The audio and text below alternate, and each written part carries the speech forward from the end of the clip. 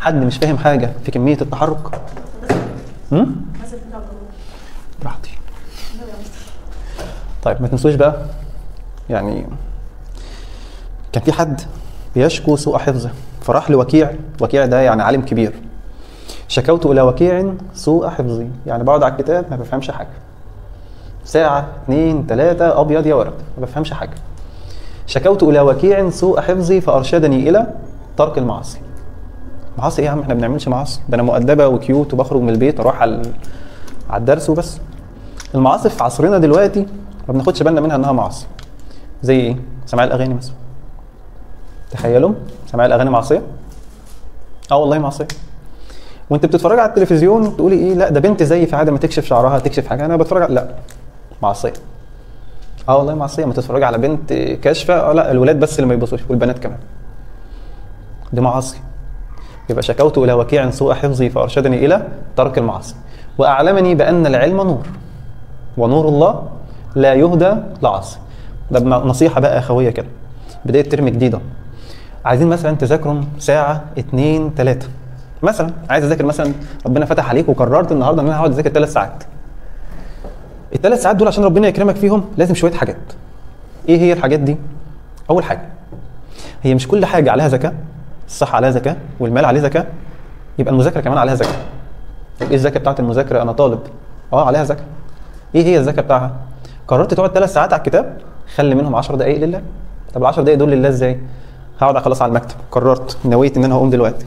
في فروض فايتك؟ ما ينفعش. مفيش مسلم ما بصليش.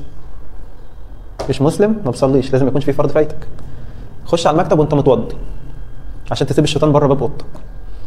أي مصادر لله سيبها بره أوضتك. تليفون أصل هيسرقني شوية وأنا قاعد بذاكر. لا ده أنا بذاكر عليه. لا معلش خد حاجتك منه وبعد كده ارميه بره. واعمله صاير قفلت باب أوضتك داخل متوضي. في حاجة اسمها ركعتين قضاء حاجة. ركعتين إيه؟ قضاء حاجة. يعني إيه ركعتين قضاء حاجة؟ نافلة السنة كل ما تكون مزنوق في مصيبة صليهم. طب إيه المصيبة اللي أنت مزنوق فيها دلوقتي؟ ما أعرفش أذاكر ما أعرفش أجمع المعلومة. زمايلي فين؟ وأنا متأخر جامد وبحس إن أنا ضايع وهم يحققوا أحلامهم وأنا اللي أروح المعلومه الجزم في الآخر. ما تقلقيش أنا الجزمة اللي بلبسها ما بتتلمعش. طيب خش ربنا وعيط له صلي وعيط وادعي. في ركعتين اسمهم قضاء إيه؟ حاجة. بتدعي فيهم بالحاجة اللي عندك. هذاكر دلوقتي أحياء مثلا. هذاكر فيزياء. مستر إيهاب مطلع عين أهلي ومش فاهم منه حاجة بس لازم أفهم منه. خش كده وادعي. قول يا رب. اللهم لا سهل إلا ما جعلته سهلا فاجعل هذا الابتلاء سهلا وسمي بقى الابتلاء بتاعك. سميه باسمه. سميه فيزياء سميه أحياء سميه زي ما تسميه. خلاص صليت. ركعتين خدوا منك إيه؟ ثلاث دقائق أربع دقائق ولا حاجة. اقعد بقى على الكتاب. ارمي الكتاب في جنب هات المصحف. 10 دقائق بالساعة عشان الوقت برضه ما يسرقكش 10 دقائق بالظبط. اقرأ بس بتأني. اقرأ من كتاب مفسر عشان لو هتقرأ آية واحدة بس تبقى عارف معناها. مش ممكن وانت بتقرأ الآية آية واحدة بس وقرات معناها تكون هي البداية اللي تغيرك وتحولك لإنسان ناجح. ممكن. يبقى أقرأ من مصحف ميسر. أول ما دخلت أولى ثانوي سلموكم مصحف كده في المدرسة كان مفسر تفسير بسيط كده. ولا ما استلمتهوش؟ ما استلمتهوش. طيب المصاحف هبعتها لكم على الجروب مصحف ميسر إيه مفسر. هبعتها لكم على الجروب كده كرابط تحملوه يبقى معاك على الموبايل. اقرأ الآية وتفسيرها. آية بآية. لحد ما ال 10 دقائق يجيبوا معاك. جابوا آية جابوا اثنين جابوا ثلاثة شكرا. بس الآية اللي تقرأها احفظها واقرأ تفسيرها.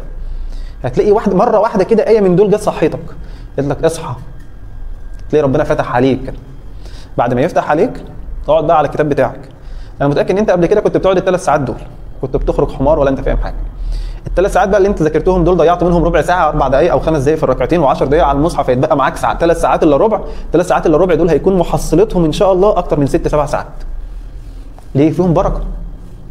خلاص ذاكرت؟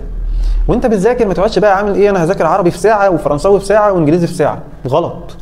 المادة اللي تقعد عليها ما تقومش لو انت مخلص المطلوب منها قعدت عربي ما تقومش على عربي غير وانت مخلصه. ما تقولش أنا هذاكر حبة من هنا وحبة من هنا. بتوع الفشل بس اللي بيعملوا كده. طيب أفضل وقت للمذاكرة من 5 ل 10 الصبح من 5 ل 10 بالليل. من 5 ل 10 الصبح من 5 ل 10 بالليل. من 5 ل 10 الصبح ده ده كانت مكتوب مكتوبة في كتاب فن مذاكرة. لو رجعت بقى للسنة بتاعتك من 5 ل 10 الصبح دول اللي هم إمتى؟ بعد ما سيادتك صليت الفجر لحد 10 الصبح. 10 الصبح اخرج بقى لدروسك شوف شغلك. رجعت من الدروس مش شايف قدامي. تعبان طول اليوم فرهضة وسفر ومدرس بيزعق وطلبة بيهزروا معايا و... روح افصل ساعة نوم قبل ما تعمل أي حاجة. لو كان في فرض هيروح صليه منك صليه بسرعة كده وبعد كده نام لك ساعة. بس ما تنامش على السرير وتتغطى. لو نمت على السرير واتغطيت وحسيت بالراحة يا جماعة ساعة وصحوني مش هتصحى. اصحي يا فلان. خلاص بقى يا ماما أنا أنا مظبطة جدولي وبكرة اصحى مش هتصحى. طب اعمل إيه في المصيبة دي؟ نام على حاجة مقلقة. نام على حاجة تقرقك وأنت نايم. وانت نايم كده روح نام على كنبة ونام بغطا خفيف عشان تحس بلسعة البرد. عشان أول ما الساعة تعدي وتسمع المنبه تقدر تصحى. ما تخشش في مرحلة النوم العميق. بعد الساعة دي هتبقى فصلت بقى من كل الكواليس بتاعة اليوم. بقت الساعة كام؟ سبعة. ستة ونص. ما انت بتخلص دروس مثلا على خمسة بتروح خمسة ونص ستة. قوم من النوم صلي العشاء روح على نفسك كده اقعد اتعشى. خش بقى مكتبك كده بقت الساعة كام؟ 8 يا عم انت مش قلت لي من 5 ل 10 الصبح ومن 5 ل 10 بالليل؟ هو انت يعني لازم تكون جايب 100% عمرك حطيت جدول مذاكرة وقفلته بالظبط 100% يبقى انت كده خطفت خمس ساعات الصبح قول الخمس ساعات اللي ذاكرتهم الصبح خدت منهم أربعة نص ساعة كنت لسه بصحصح وبصلي الفجر وبفوق. مش مشكلة خير وبركة.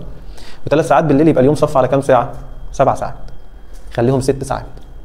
ست ساعات. لو اتدربت في سنة أولى إنك تقعد على الكتاب ست ساعات أبشرك دلوقتي من دلوقتي لما توصل ثالثه ثانوي ممكن ترتب جمهورية. بس لو التزمت. لو التزمت باللي اتفقنا عليه. ده أنا عارف إن أنا ضيعت من وقت زيادة على الحصة بس كان لازم أقول لكم الكلمتين دول. يعني كنصيحة أخوية. اتفضل.